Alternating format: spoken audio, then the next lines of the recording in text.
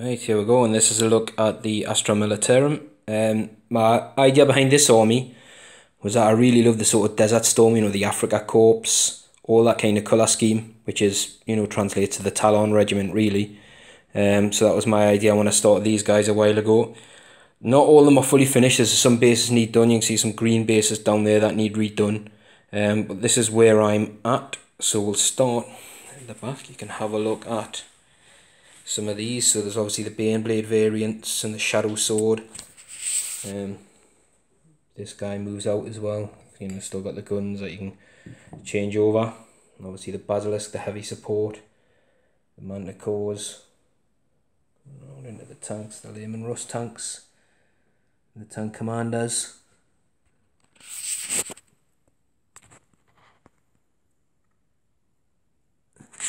there. And down. I've just put these in groups of things and we'll see there's snipers guys. They're just crew from the vendettas and stuff like that I've painted up. I might redo them at some point in the future. Obviously we've got the commissars Yarrick.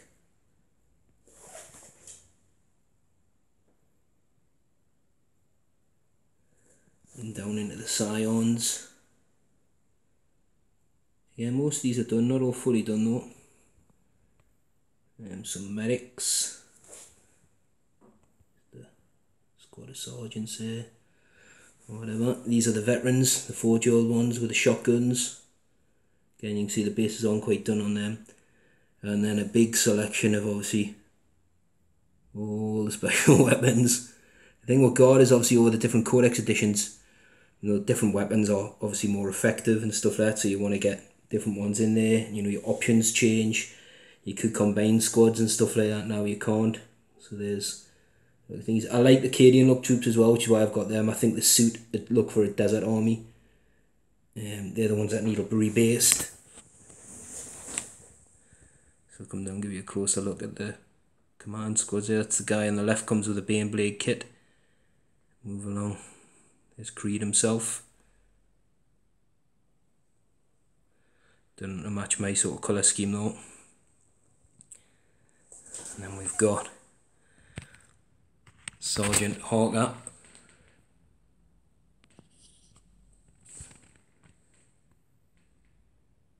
Oh, I love, I love that model. I've also given him a tattoo on the back because he loves the Imperium so much he's got himself a tattoo. And then Straken. Um, I know my sort of colour scheme's Tallarn, but I just love these characters and the idea of them. So there's a bit of thingy on them there. So I'll give you a look at them. So what I might do, I might run them as Catachan sometimes.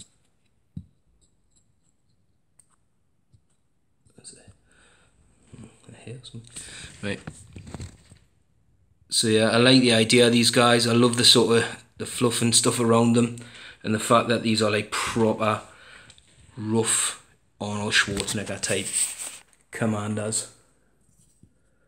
So that's the ones I like there. And then obviously coming around, just some selection of Voxcast guys into the Assassins. The Imperial Assassins. So obviously the Culexus. And these guys aren't GW. I think they're Infinity models, but I just love them. And the idea, like I said, Assassins should hunt in packs I quite like the idea that they're a sort of triangulated team of brother and sister, and then obviously the squad leader. I've got some Ratlings, and some Ogryns. That's the. Look, I haven't run these guys yet in 8th. I probably would run them with slab shields and the mauls, to be fair. And then we just got a load of heavy weapon teams.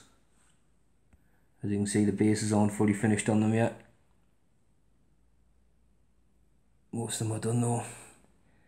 Into the Chimera tanks, and a couple of Scout Sentinels, and then a couple of Flyers. Obviously that one there's got the Punisher cannons, so it'll be run as a Vulture.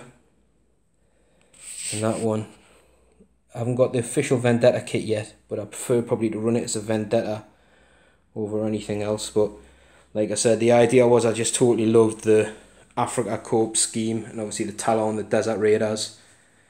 So that's the thinking behind this army. Yeah, so like a good mix of tanks and obviously a good load of troops as well. So yeah, that's what I'm busy with at the minute.